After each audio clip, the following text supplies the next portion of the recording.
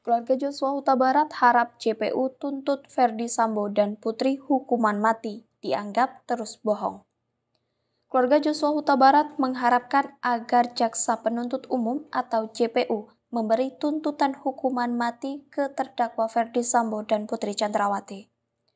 Keluarga Joshua ingin Ferdi Sambo dan Putri Chandrawati mendapat hukuman maksimal dari pasal 340 KUHP tentang pembunuhan berencana.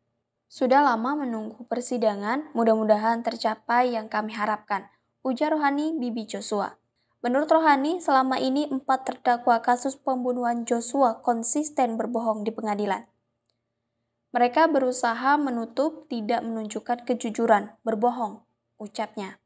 Ia juga menuturkan keluarga Joshua melihat Putri Chandrawati penuh kebohongan dalam tuduhan pelecehan ketika memberikan keterangan di persidangan. Dari sini bisa menilai sudah dilecehkan, dibanting, kok masih memanggil Joshua, bertatap muka di ruangan dengan alasan sudah memaafkan. Kalau saya sebagai perempuan, dijawil saja sudah saya tampar yang melecehkan, kata Rohani. Oleh karena itu, ia memohon kepada hakim untuk memberikan keadilan. Ia juga tidak tega melihat ayah dan ibu almarhum Joshua yang masih sering menangis ketika melihat persidangan karena ada tuduhan pelecehan itu. Untuk Eliezer sudah ada kejujuran. Hakim mudah-mudahan memberikan keringanan. Kami dari keluarga sudah melihat keterangan Eliezer yang menentang Sambo. Mudah-mudahan tuntutannya sesuai. Tutur Rohani. Terkait kehadiran keluarga Joshua dalam sidang tuntutan, Rohani mengaku belum ada pemberitahuan dari kuasa hukum. Namun, ia memastikan keluarga Joshua tetap memantau jalannya persidangan.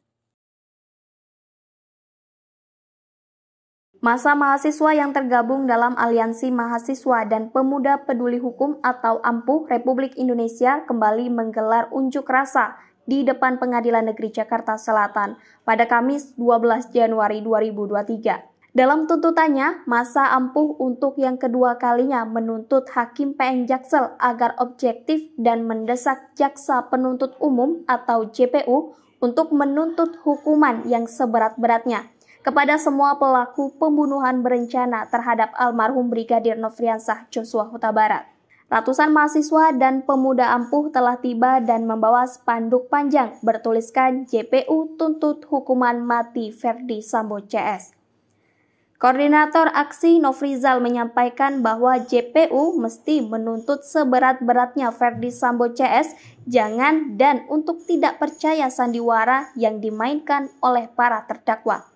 Hakim PN Jaksel jangan takut, tegakkan hukum, vonis seberat-beratnya, semua pelaku pembunuhan berencana, kata Nofrizal.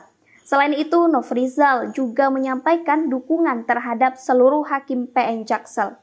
Masyarakat Indonesia siap mendukungmu demi tegaknya supremasi hukum tanpa pandang bulu, terangnya.